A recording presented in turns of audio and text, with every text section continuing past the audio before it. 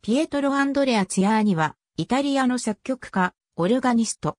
現在は、ピエトロ・アンドレア・ジアーニと表記される。ベネツィア出身。1636年にトレビーゾのオルガニストとなり、1637年にはカンディア、1638年にはブレシアに移った。1639年からはベネツィアの聖サルバトーレ教会のオルガニストとなった1654年まで務めた。なお1639年に除祭となり、1640年には司祭に除会されたが、1668年以降は健康上の理由で政務を免除されている。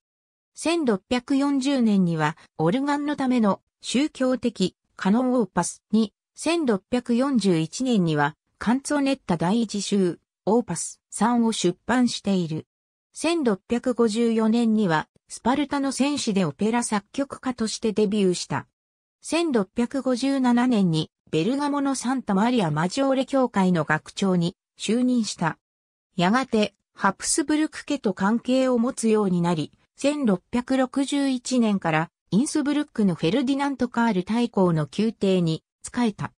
1663年にウィーンに移り、1667年までエレオノーラ・マグダレナ皇太后の宮廷学長となった。その間、多数のオペラやオラトリオがウィーンとベネツィアで上演されている。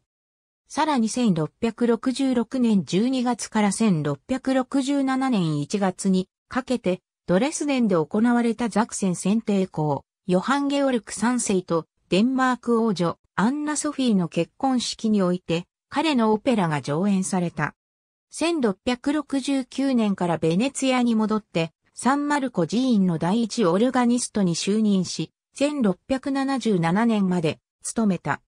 その後ナポリに移り、サンオノフリオ音楽院の名誉オルガニストとなり、1680年にはナポリ王国の宮廷副学長に就任した。この間、彼のオペラはベネツィアとナポリで上演され続けた。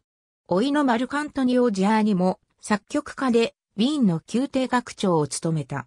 独創的で実験的なオペラを制作し、フランチェスコ・カバッリの後継者と言われるほどの名声を得た。ありがとうございます。